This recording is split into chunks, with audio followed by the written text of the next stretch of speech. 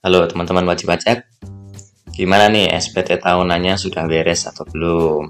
Sudah mepet waktunya ya. Ini di video saya upload ini sudah mepet akhir April nih teman-teman. Nah, untuk yang eh, teman-teman yang nanti terlambat dalam pelaporan harus ingat ya akan ada sanksi 1 juta untuk SPT badan. Nah, itu kan lumayan banget ya Nah, SPT-nya udah bikin pusing, nanti udah kepikiran akan ada denda makin pusing gitu ya. Nah, teman-teman di video kali ini aku mau sharing ini uh, sesuatu yang pernah saya lakukan yaitu melakukan permohonan perpanjangan jangka waktu penyampaian SPT. Jadi agar kita tidak didenda, tidak kena sanksi 1 juta, kita bisa menyampaikan perpanjangan waktu penyampaian SPT. Itu bisa sampai dua bulan teman-teman. Nah, dasar aturannya itu ada beberapa aturan nanti akan saya bacakan. Yang pertama itu di PMK nomor 243 tahun 2014. Nah, ini di pasal 13 eh, ya, di bab 4. Ini saya bacakan.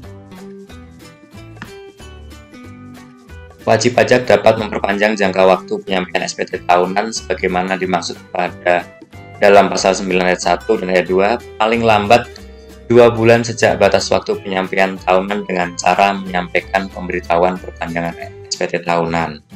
Jadi nanti dengan mengajukan dengan menyampaikan pemberitahuan itu teman-teman bisa dikasih waktu nih tambahan dua bulan gitu ya. Jadi April teman-teman bisa uh, maksimalnya Mei Juni, Juni begitu ya. Pemberitahuan perpanjangan SPT tahunan sebagaimana dimaksud ayat 1 disampaikan dalam bentuk formulir kertas atau elektronik. Nah ini formulir kertasnya eh, teman-teman eh, nanti bisa download di deskripsi ya. Udah saya siapkan juga namanya itu formulir 177 eh, 1Y begitu. Itu untuk badan. Nanti saya jelaskan untuk formulir yang lainnya. Pasal 14 pemberitahuan perpanjangan SPT tahunan disampaikan ke kantor pelayanan sebelum batas waktu berakhir. A. Perhitungan semen, uh, dengan dilampiri A. Perhitungan sementara pajak terhutang dalam satu tahun uh, pajak yang batas waktu penyampaiannya diperpanjang. B. Laporan keuangan sementara. C. Setoran pajak. Uh, jadi intinya uh, nanti formulir yang ada di deskripsi yang udah teman-teman download nanti itu harus dilampiri dengan perhitungan pajak terhutang sementara gitu ya. Jadi teman-teman meskipun uh, belum selesai laporan keuangannya, belum selesai SPT-nya, teman-teman harus membuat versi sementaranya. Nah, syukur-syukur sangat-sangat mendekati yang yang finalnya nanti.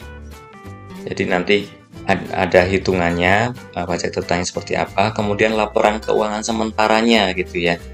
Uh, beberapa kan teman-teman yang harus konsolidasi ini itu banyak perusahaan gitu ya belum beres diambil Nah ini teman-teman bikin yang versi uh, sementaranya menggunakan model proyeksi, menggunakan model asumsi silahkan.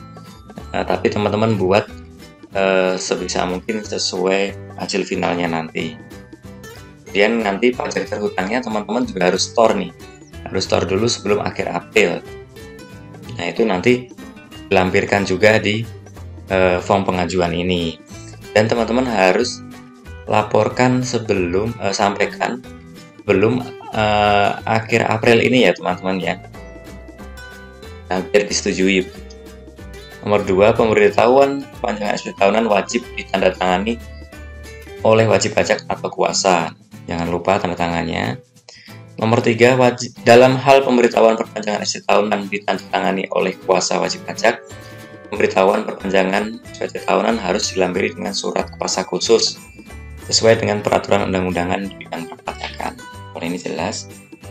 Pasal 15. Pemberitahuan perpanjangan SC tahunan sebagaimana dimaksud dalam pasal 14 ayat 1 disampaikan langsung berarti teman-teman ke KPP melalui pos dengan bukti pengiriman surat atau dengan cara lain ya paling mudah sih datang ke KPP ya atau pakai pos ya jangan lupa nanti kalau pakai pos berarti disimpan dengan baik uh, bukti pengirimannya. Nomor 2, cara lain sebagaimana dimaksud pada ayat uh, eh, 1 huruf C dilakukan melalui perusahaan jasa ekspedisi atau jasa kurir dengan bukti penerimaan surat ini maksudnya kalau nggak pakai pos ya teman-teman sekarang ada jasa kurir ada banyak ya yang inisialnya JNT, inisialnya JNE, dan yang lain atau melalui saluran tertentu yang ditetapkan oleh DJP. Nomor eh, ayat 3, ketentuan mengenai bukti penerimaan SPT sebagaimana dimaksud dalam ketentuan pasal 8 ayat 3, ayat 4, dan ayat 5 berlaku secara mutatis mutandis terhadap bukti penerimaan penyampaian pemberitahuan perpanjangan SPT tahunan. Pasal 16 Pemberitahuan perpanjangan SPT tahunan yang tidak memenuhi ketentuan sebagaimana dimaksud pada pasal 14 dan 15 dianggap bukan merupakan pemberitahuan perpanjangan SPT tahunan. Nah ini teman-teman hati-hati ini. Yang nomor uh, pasal 14 dan 15-nya tadi harus dipenuhi ya. Formulirnya nanti harus W, kemudian tiga lampiran di atas tadi juga harus dilampirkan teman-teman. Biar kita dikasih uh, tenggat waktu tambahan 2 bulan. 16 ayat 2-nya, apabila pemberitahuan perpanjangan SPT tahunan dianggap bukan pemberitahuan perpanjangan SPT tahunan, bagaimana dimaksud ayat 1, Direktorat Jenderal Pajak memberitahukan secara tertulis kepada wajib pajak. Jadi nanti kalau misalkan itu ditolak, itu nanti akan ada surat balasannya teman-teman. Oke, ini aturannya ada di PMK nomor 243 tahun 2014. Kemudian ada tambahannya teman-teman, itu di PMK nomor 9 tahun 2018. Ini perubahannya seperti ini teman-teman. Di antara pasal 16 dan 17 disisipkan satu pasal, ya ini 16A. Ininya Ayat 1, wajib pajak yang menyampaikan pemberitahuan perpanjangan penyampaian SPT tahunan wajib menyampaikan SPT tahunan dalam batas waktu perpanjangan sebagaimana tertera dalam pemberitahuan tersebut. Jadi teman-teman yang sudah dapat tambahan waktu dua bulan, ya teman-teman sangat sangat wajib ya. Dua bulan itu sangat-sangat di, harus dipakai. Teman harus buat SPT-nya dan teman-teman harus uh, lapor begitu. Kalau enggak ya nanti teman-teman bisa kena sanksi satu juta itu teman-teman. Kemudian dalam hal SPT tahunan sebagaimana dimaksud pada ayat 1 menunjukkan nilai PPh kurang bayar yang lebih kecil dari nilai pajak yang telah disetor eh, dalam surat setoran pajak atau sarana administrasi lain yang kedudukannya disamakan dengan surat setoran pajak sebagaimana dimaksud dalam pasal 14 ayat 1 atas kelebihan pembayaran tersebut. Nah, ini, ini maksudnya gini. Teman-teman udah hitung sementara di awal, kemudian udah store. Misalkan teman-teman udah store satu miliar ya satu juta gitu ya. Kemudian saat teman-teman bikin SPT yang realnya ternyata hanya 500 harusnya pajaknya yang dibayarkan di PPh 29 nya maka berlaku seperti ini teman-teman. A. Diajukan permohonan pemindah bukuan. Jadi kelebihannya selisihnya dari yang hitungan awal hitungan sementara dan hitungan final itu teman-teman bisa ajukan permindahan pembukuan nanti teman-teman bisa pakai untuk jenis pajak yang lain. Atau diminta kembali melalui permohonan pengembalian kelebihan pembayaran pajak yang seharusnya tidak terutang atau ini teman-teman minta restitusi. Nah kalau saya sih restitusi itu eh, mohon maaf lebih ribet ya. Jadi pakai cara aja. Kita pindah bukukan aja. Nah ini kalau kurang teman-teman. Kalau lebih nah kalau kurang bagaimana teman Nah, kalau kurang misalkan teman-teman uh, udah hitung di awal itu di hitungan sementara itu satu juta. Ternyata teman-teman nanti uh, setelah dapat waktu dua bulan tambahan ternyata harusnya 2 juta. Nah, teman-teman ini kan biasanya akan ada uh, sanksi bunga gitu ya. Sanksi bunga itu dihitung dari uh, batas waktunya April temponya kemudian teman-teman bayar selisihnya kurangnya itu kapan itu?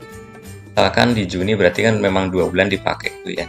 Jadi kemungkinan nanti teman-teman akan dapat STP eh, sanksi sanksi kurang bayarnya gitu ya.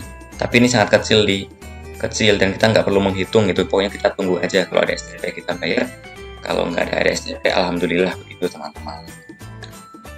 Oke ini selanjutnya untuk e, bentuk formulirnya ya nah ini untuk teman-teman yang e, untuk orang pribadi itu bisa teman-teman pakai formulir 1770Y kemudian untuk yang badan pakai formulir 1771Y ini teman-teman pakai yang ini yang yang badan ya.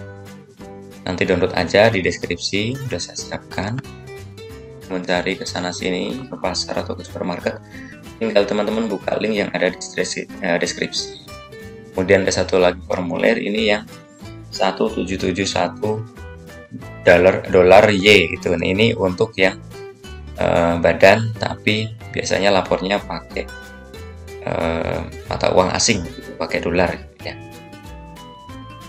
Oke teman-teman, semoga video ini bermanfaat uh, untuk kita semua dan teman-teman terhindar dari sanksi 1 juta atas telat lapor di uh, bulan April gitu ya. Oke teman-teman, jangan lupa untuk subscribe, like dan share video ini. Terima kasih.